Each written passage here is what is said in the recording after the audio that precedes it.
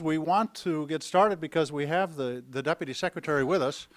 Uh, and I know the kind of precious time that it takes to get on a, on a deputy's office because, you know, he's running the Interior Department. And so he's just kind of taking his lunch hour. Matter of fact, I took his sandwich away from him. He even, he's not even getting his sandwich. I, I did promise, though, that we would, uh, that we would wrap up a sandwich and send it with him. And he said it has to be less than $25. And, uh, you know, and, and uh, I can promise you it's worth less than $25. I have no idea what it costs. I mean, that's a, that's a different matter. Um, well, uh, welcome. We're delighted that you're all here. This is, of course, uh, a continuation of our, uh, of our series of uh, conferences that we started after Macondo and trying to get an understanding of all of the challenges that uh, now come with, uh, with, both deep water exploration, but also exploration uh, when a country cares about energy and also cares about the environment. And uh, a year ago, that was a red hot, intense issue. Still is a latent issue of great concern. And at its core, I think there were three anxieties that uh, Americans had. They had an anxiety about technology. Does this stuff really work? You know, I mean, are we able to manage it. Uh, second was an anxiety about the business incentives of industry and will they really be you know, attentive and careful about the environment when they are going after these resources. And third, frankly and honestly, was an anxiety about government. Is government competent to, to manage complex, sophisticated operations? And uh, so uh, obviously this has become an important thing for us to explore. And we've had uh, eight sessions. This is our ninth session. We're actually combining uh, we've actually had a parallel series on the Arctic that we've been working, and so we've really brought the two together because in some ways this is the unarticulated anxiety that so many environmentalists have about drilling in the Arctic. You know, it is a pristine environment, and and what risk does it face? And because of all of that, we needed to bring this discussion, this debate forward to all of you. And uh, and, and, i appreciate your being here. It's been a very good morning. Uh, I, I, welcome David Hayes. This is, a, this is a guy who doesn't seem to learn. He keeps coming back again and again and again to serve. Uh, his, his second time as Deputy Secretary of Interior. Uh, we worked as counterparts at that time in the Clinton administration, and I, I must say I always uh, admired his, his energy and his commitment to service. And of course, he's demonstrated that now in manifold times, uh, and we're really fortunate that he is back serving at this time in Interior. And these are challenging days. Uh, no one knows it better than the Secretary. So he's given us time. We're grateful to have him here. I want you to have as much opportunity as you can to uh, ask questions, and I'm going to ask uh, David Pumphrey to field that. But at this stage, let me ask you welcome uh, the Deputy Secretary of Interior, David Hayes. Thank you, David.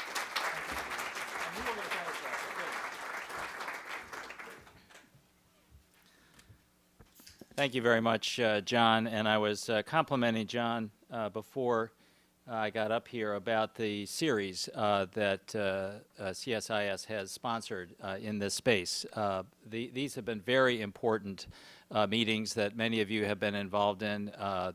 we have we have, we were challenged last summer like we have never been challenged before as a nation when it comes to dealing with an environmental crisis associated with oil and gas development offshore. And I must say, this summer seems uh, a little more leisurely uh, than last, uh, although not all that leisurely, as I'll discuss here today. Um, uh, I want to begin with just uh, a couple of framing uh, comments. Um, as you know, um, the, the President has been very clear uh, that increasing uh, safe and responsible oil and gas production is a priority for him and for all of us in the administration. And uh, you'll recall on March 30th, uh, the President uh, set out a vision of a broad energy policy to secure our energy future, and he set a goal of lessening our dependence on foreign oil by reducing oil imports by a third by 2025. And that is an extraordinarily significant uh, goal. And we are already well on our way toward that goal. Uh, uh, for those of us who, whose minds are a little bit stuck in the past, uh, as, as uh, we have heard uh, through, through our careers about the continued creep up of, of the percentage of oil that we import in the United States, it's somewhat surprising and, and jarring uh, in some respects in a positive way uh, to know that for the first time we're in many many years we're importing less than half of the oil that we use in the United States. You, you'll recall from uh, from those of us who are uh, remember back to the uh, the oil shocks in the in the 70s and beyond, the continued creep up uh, into the 60s with projections into the 70s. Well, we in, we've increased domestic production and we've reduced our imports significantly by 7% in the last two years alone, and we want to continue on that path, and the President has challenged us to do that. Now, to achieve that goal, uh, we know we're going to need a, a suite of uh, activities uh, uh to, to, to do that, and part of that is taking advantage of all the resources we have available here in the U.S., which is why the President has put together a plan uh, to responsibly develop oil and gas uh, at home, while at the same time leveraging cleaner alternative fuels and increasing efficiency uh, to build a 21st century clean energy economy over the, over the long haul. And I should say the Interior Department has a big role in this regard, both in terms of conventional energy and in terms of renewable energy. You know, uh, one third of our oil supplies, our domestic oil supplies, come from lands or offshore that we manage at the Interior Department. Um, and on the renewable side, the clean energy side, we are making huge strides toward using our public lands and our offshore resources, offshore renewable resources like Atlantic wind, to contribute to this secure energy future. Just last year, we permitted 4,000 megawatts of new wind and solar and geothermal power on our public lands. That's the equivalent of 10 coal-fired power plants. We're going to do, we hope to do the same this year, maybe more. We have a pipeline to keep this going. This is significant new development under this administration uh, uh, on the renewable side. Uh, but let's get back to, uh, to, to the, the President's overall vision.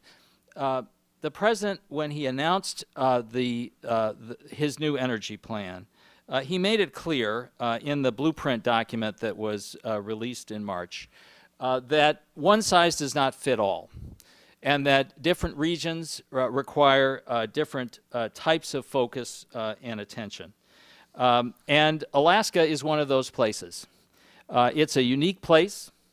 Uh, as all of you know, its natural resources offer significant promise for energy development uh, while posing special challenges with the uh, Arctic environment.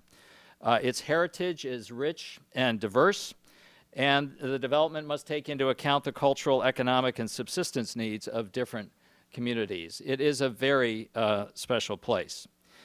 Now, we have many agencies across the federal government with a stake in uh, Alaska and in, uh, in working with the state and communities and responsibly developing energy there.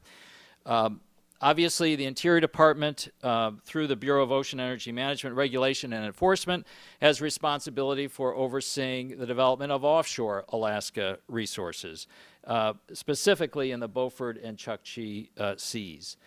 And you have heard Mike Bromwich in previous uh, meetings here at CSIS talk generally about uh, how BOEMRE is upgrading the safety requirements uh, and environmental response requirements uh, expected uh, for offshore general, uh, development. needless to say, we are, we are taking that same message to Alaska, and we're currently reviewing Shell's proposed plans to drill exploration wells in both the Beaufort and the Chukchi uh, next summer. Um, uh, also, Shell, of course, will need to get approval from NOAA, another federal agency uh, with jurisdiction here to, uh, uh, regarding uh, potential impacts on marine mammals. Um, onshore, the, the Bureau of Land Management has vast responsibilities in Alaska, including in the oil and gas sector. Um, uh, BLM manages the 23 million acre National Petroleum Reserve, and BLM is currently uh, actively involved in uh, uh looking to facilitate responsible development in the NPRA. Um, the NPRA, which is estimated to uh, uh, contain perhaps a, a billion barrels of conventional undiscovered oil and 53 trillion cubic feet of conventional undiscovered non-associated gas. We recently announced within the last two weeks that we will hold a lease sale in the NPRA later this year and every year, annually, uh, thereafter to spur domestic energy production. BLM is also uh, in the midst of preparing a new land use plan for the entire 23 million acre planning area that will analyze uh, potential uh, future oil and gas development, protection of uh, surface, uh, special resources, um, management of subsistence resources, and opportunities con to construct necessary onso- onshore infrastructure. Uh, including potentially pipelines uh, to uh, potentially bring oil and gas from the Chukchi uh, to the Trans-Alaska uh, pipeline system. A draft of that plan uh, is being worked on now and will be should be ready by early next year.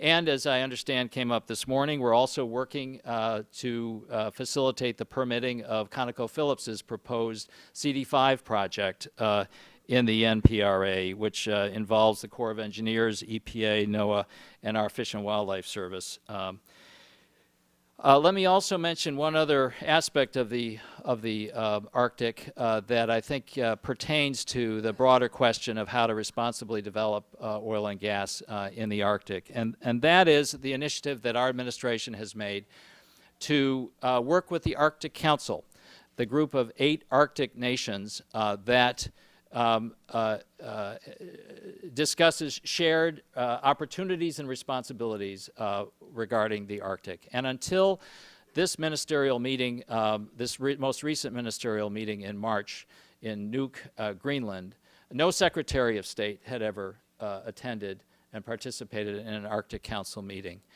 we changed that in a big way as Secretary Clinton participated along with Secretary Salazar and myself uh, and Senator Lisa Murkowski was along uh, as well in that trip.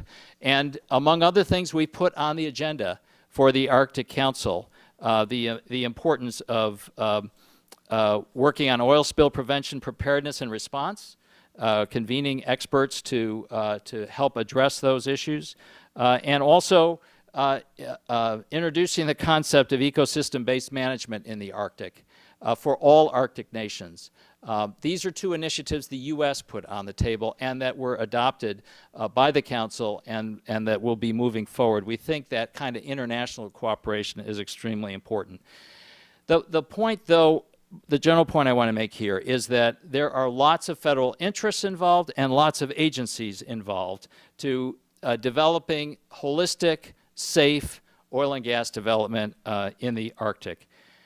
And it's also important, and perhaps more important than ever, uh, that, the, pres- that the, the, the, federal government, rather, speak with one voice as we address these issues. Uh, that's been a message we have received from Senator Murkowski, Senator Begich, and many others, many of you. Um, they've called for uh, more coordination on Alaska energy development and permitting.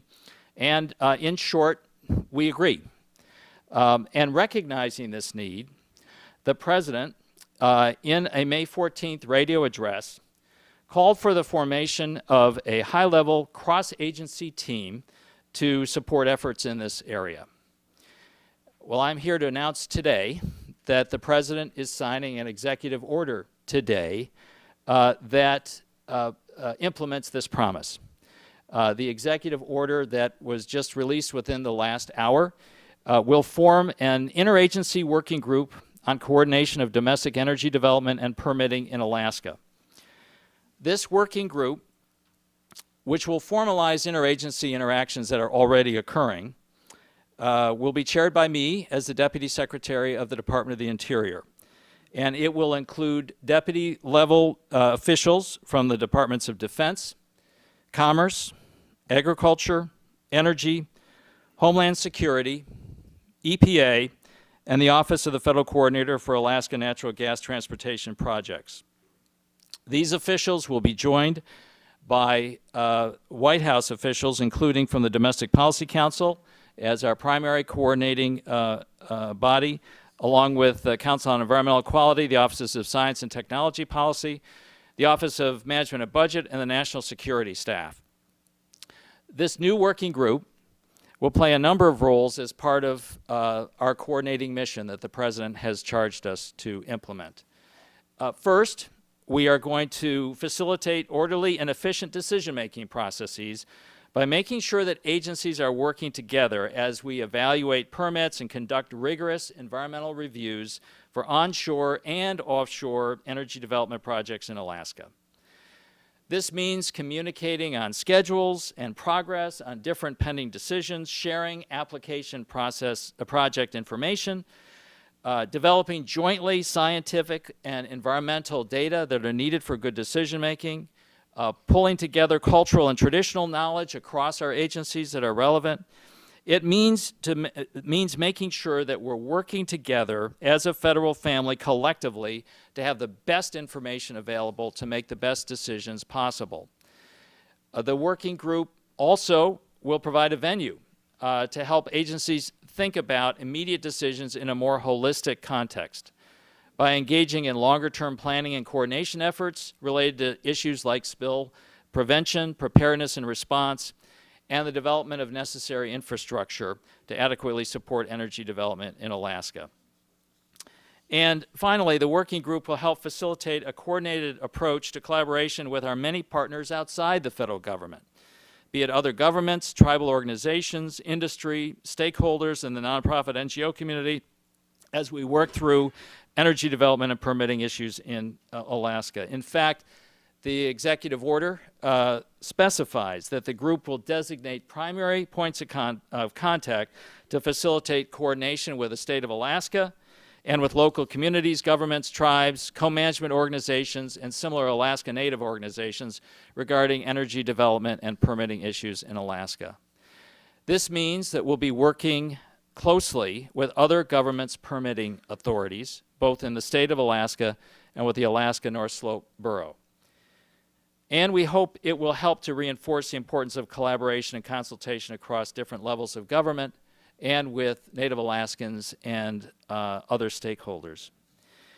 Uh, we look forward under this new executive order to continuing to work with our partners inside and outside of the federal government to facilitate safe and responsible energy development in Alaska. And we hope and expect that the formation of this new group will, will in fact, reinforce the importance of collaboration and consult consultation across different levels of government.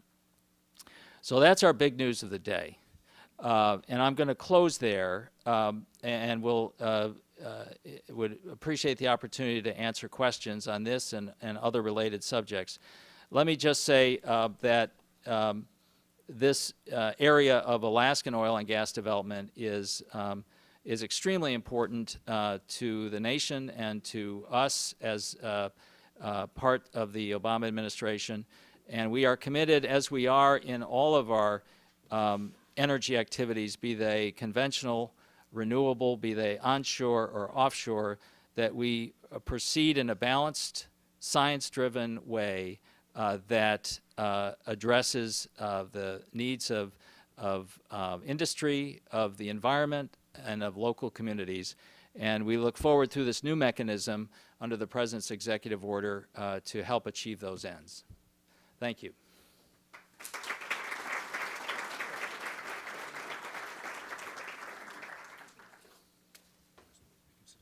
Sure. Be happy to sit down.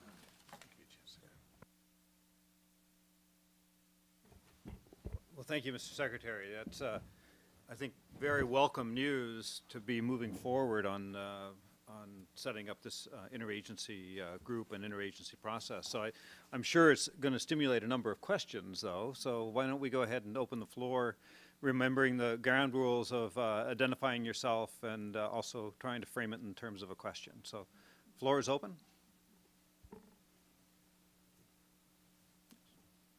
Hello, David. Nice to thank you for joining us, and thank you also for doing what I think a lot of folks have asked for, which is sort of a coordinating mechanism. My name is Fran Ulmer, and I'm um, from the state of Alaska, but I'm here as chair of the U.S. Arctic Research Commission. Um, I assume that this is not a one-stop permitting office. It is really a way of getting issues on the table for agencies to talk through various concerns. It may be too soon to say because the executive order is just coming down today, but could you talk a little bit about how you will actually do business, your vision as, as chair of how you will, how issues will come to you, how that will affect decisions by the various agencies as they are reviewing permits and making choices about investments, et cetera? Certainly. Thank you, Fran. And thank you for your service in so many capacities, including on the Deepwater Horizon uh, Commission, um, uh, and now with uh, science orientation. Um, uh, you're right. I, we're, we're not looking to this uh, group to be a, you know, a, a super permitting uh, agency, one-stop shop in terms of uh, all permit activities is concentrated and comes out of this group. We're really a coordinating group. Uh, Each agency continues to have their jurisdictional responsibilities under their statutory uh, uh, frameworks. Um, The primary uh, purpose of this is to ensure coordination uh, and uh, broad sharing of information and, and, and, and timely response to permitting windows and, and permitting needs. Um, and there, there, uh, uh, you know, there are special challenges in Alaska um, uh, in that regard. Uh, uh, and uh, uh, and uh, I will say we, we, we're, we're, we're having somewhat of a dry run of this right now as we work with Shell. Um, and uh, as, as they look, uh, as they put together their applications for exploratory drilling for next summer, um, we are, we are working with uh, uh, the other agencies that have clear permitting responsibilities along with us, including, for example, in particular, EPA and NOAA. And we're making sure that, that timing-wise, that we're all uh, synced up uh, and, and that, that we, are, we are collaborating um, uh, and sharing information necessary. And it's working well, I would, I would have to say. This is really a common sense um, uh, approach that is being implemented today.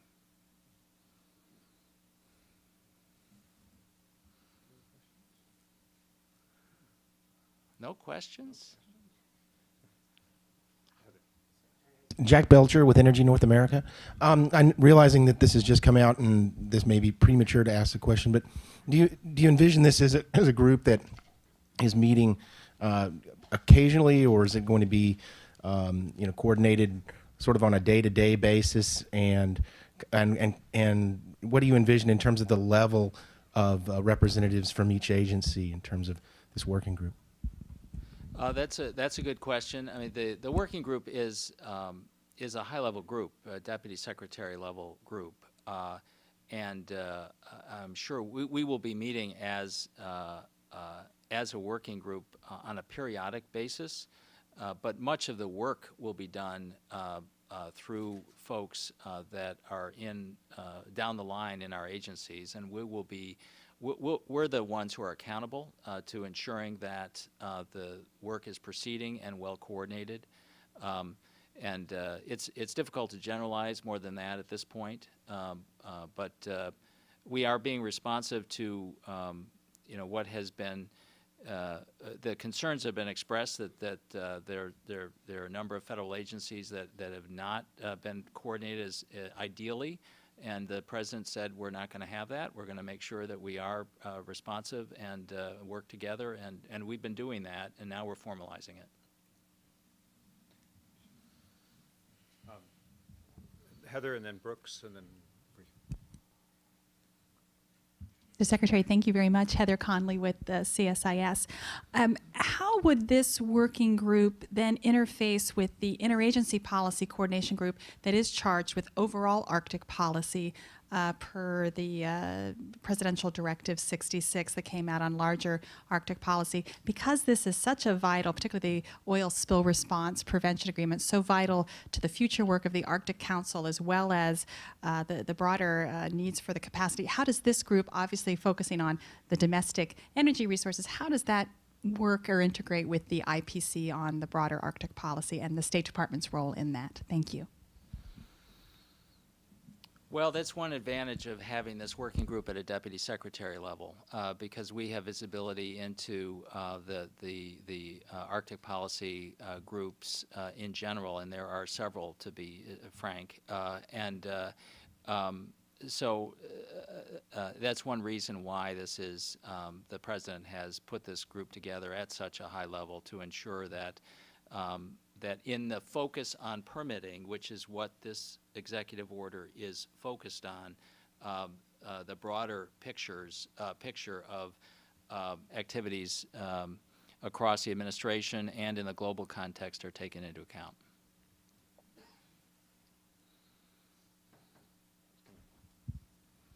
Thanks.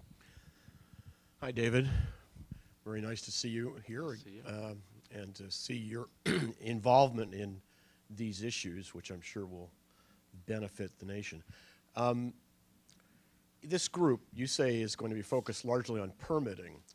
But given the recent USGS report that pointed out a number of areas of deficiency in the science basis for, shall we say, rational development of the Arctic Ocean resources, will this group also have a mandate to pursue the acquisition of scientific data about uh, marine mammals, fisheries, undersea topography, the things that could matter uh, in, and, and influence development? And will there be a product of some kind that uh, describes how we're going to better and, and improve our knowledge of the Arctic as we go forward?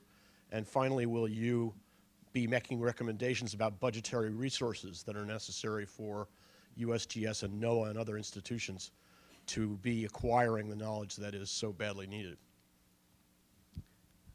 Would you like to add some more parts to the question? Um, uh, That's a very good question. Um, uh, And uh, I'll answer it in two ways. Uh, uh, one is this, this particular working group is focused on permitting coordination and, and not uh, the, as, as in response to my, the Heather's question, not, is not trying to do more than, uh, than that.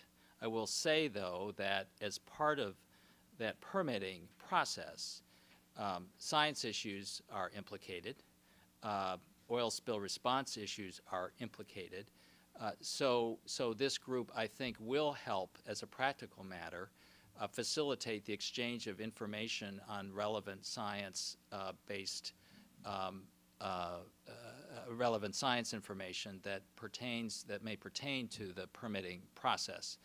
Um, and, and frankly, just the exercise of ensuring that top-level folks from the agencies are, are, are together working on these issues uh, will facilitate uh, uh, that discussion.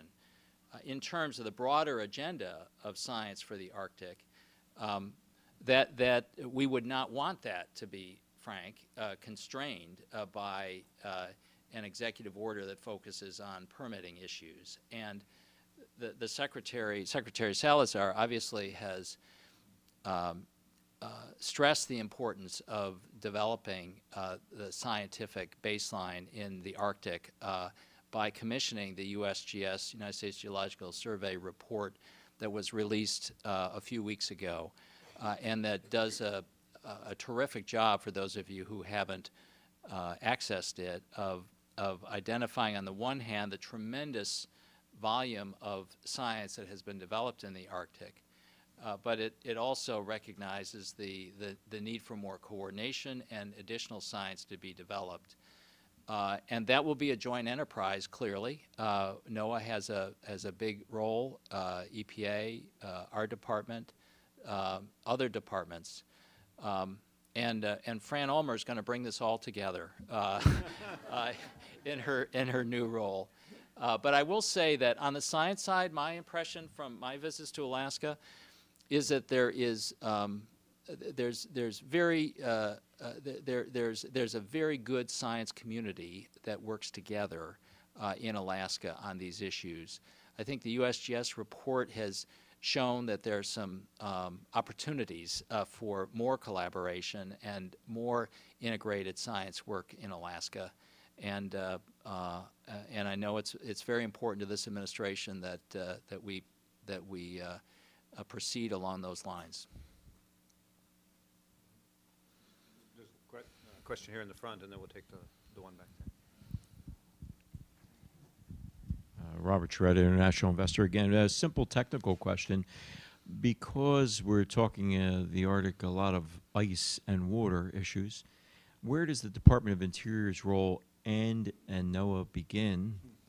And in the event of international border disputes and the long, re- you know, the technical long reach of some of this drilling, uh, who will be the lead agency to, to fight those disputes?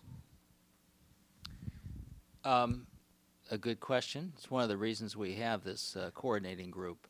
Um, I, I, the, uh, the, the, the short answer, I guess, is that the Department of the Interior, uh, through the uh, Outer Continental Shelf Lands Management Act, has responsibility for um, uh, managing the, the Outer Continental Shelf and the, the, the lands uh, under the sea, if you will, so that our, uh, we have plenary jurisdiction in terms of uh, permitting drilling activities, um, uh, any uh, activities involving the seabed directly. NOAA's jurisdiction, um, i- i- i- which they share to some extent with our Fish and Wildlife Service, focuses largely on marine mammals uh, and uh, and their uh, in terms of the oil and gas interaction specifically, and their potential interaction with oil and gas development. They obviously have responsibility over fisheries. Uh, one simplistic way to look at it is that they're they're more involved in the water column as opposed to the the, the seabed activities. Um, in terms of um, oil spill response, the the primary uh, player offshore under the Oil Pollution Act, as we as you know from the uh, Macondo well situation, is the United States Coast Guard. Uh, has has a lead role, but working very closely with both NOAA and EPA. And um, uh, uh, in terms of international, it's always the Department of State that represents the United States government. We all fall in line behind the Department of State.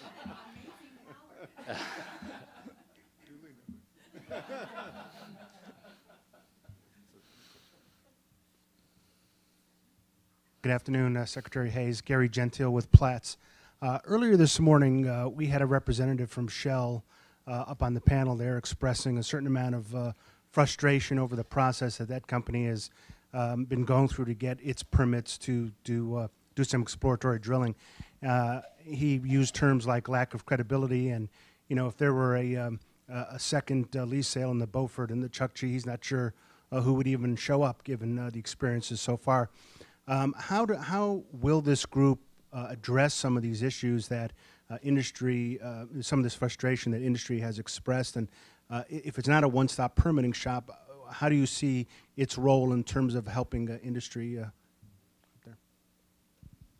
Was that you, Pete?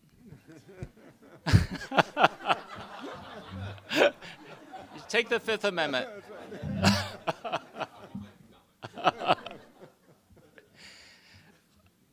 um, the, the reality is that, that a number of companies have made a very significant investment in uh, uh, leasing um, uh, in the uh, Arctic offshore. And um, uh, we came into office uh, a, couple of years ago. Um, last year, um, uh, after the Macondo well uh, blowout, uh, there was really a mutual decision, I think, made by Shell and the Department of the Interior to uh, not push forward uh, last summer uh, to try to do um, development work.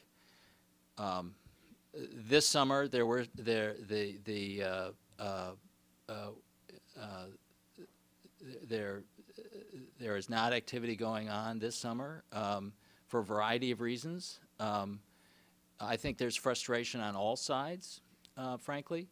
Um, what you're seeing today with this executive order and with the president's uh, comments is a very um, firm commitment uh, to ensure that uh, uh, we on the federal side are doing what we need to do uh, to uh, work carefully with industry and with other stakeholders to proceed in the right way, and to and to do so in a straightforward way, and that's our commitment, um, and and that's what we are doing right now. So um, I'll stop with that. Oh, okay, Pete. One second.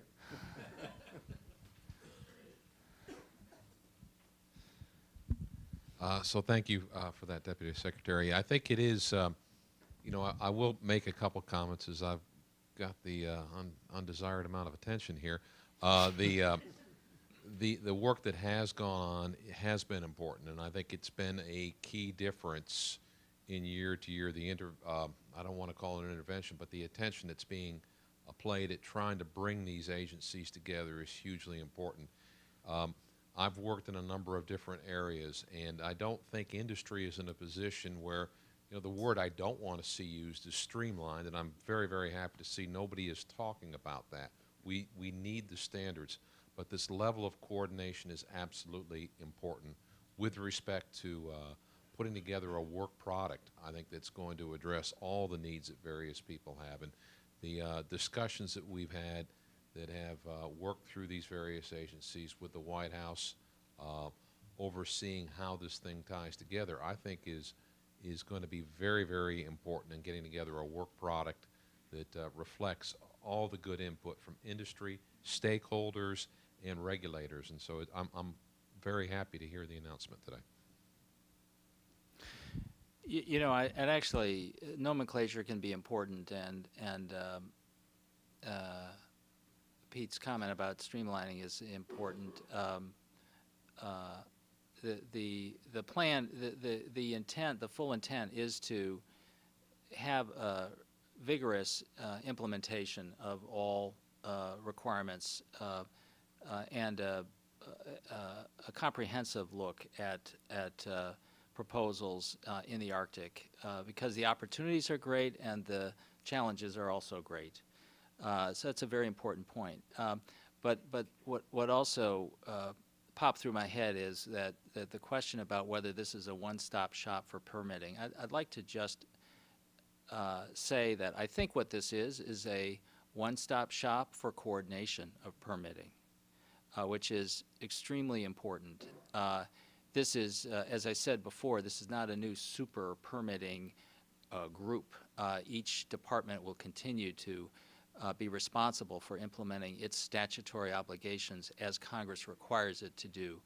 But we will have a one-stop shop for coordinating uh, permitting of oil and gas uh, in in the Arctic, uh, and and this group will ensure that there is good coordination in that regard.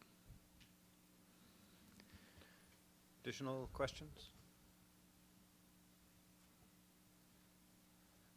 Well, perhaps we can release Okay. you to your sandwich, but I, I would, I would note, um, after many years, uh, toiling in the bureaucracy of the, the, the federal government and the administration branch, uh, one can't underestimate the power that comes from setting up this type of process. It may sound like another layer of bureaucracy, but I think you're to be commended for putting this together because this will draw the attention of all the relevant agencies to the fact that this is an important process to go through. So I think you're to be commended and wish you the best of luck in uh, implementation. That's always the next step, but uh, I think it's a Great. great effort.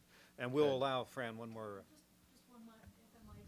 Um, I'm a little concerned about the current budget cutting having an impact on not just your agency, EPA, NOAA, the Coast Guard, all of the players that are so essential in being able to develop safely and responsibly. We've heard a lot of presenters this morning talking about their confidence in the ability of the United States to do oil and gas development in the Arctic, but that assumes a whole lot. It assumes that the necessary environmental and infrastructure investments are made by the agencies as well as by the industry and by the state. Um, we need a new Coast Guard icebreaker. We need a whole lot of things to have the kind of search and rescue and other readiness that really will assure the level of confidence that we want to believe in. But it doesn't just happen, it takes money. And I'm very concerned about that, David, and I wonder if you'd just comment a little bit for the people who are in the room today, and frankly, for those who aren't in the room today, who want to believe that the United States can move forward responsibly. It does take investment at the very same time that Congress seems totally preoccupied with the debt. Not that that's not important, but um, there are counterbalancing interests. Could you comment, please? Uh, Certainly. Um, That's a very um, appropriate comment, uh, Fran. There, there is a, um, uh, a premise uh, to, uh, to the executive order, which is that the uh, agencies have the wherewithal to um, proceed through a good permitting process with industry and with other stakeholders. And um, uh, budgets are needed for that purpose. Uh, and uh, and uh, uh, the to the science budget as well. Obviously, um, there that requires resources, and there is there can be a tendency, I think, um, by those who are frustrated by uh, the fact that uh, that that permitting processes must go forward. Uh, there's a there there some have the reaction of cutting budgets uh, in those agencies uh, when that has the uh, potential to have um, a direct negative effect on economic activity uh, that, that would otherwise be facilitated by that permitting activity. Uh, we're concerned about that. We're very concerned about that. Um, and um, and the Arctic is a very good um, example of an of an area that could be a, could be affected um, in significant ways by by budget implications.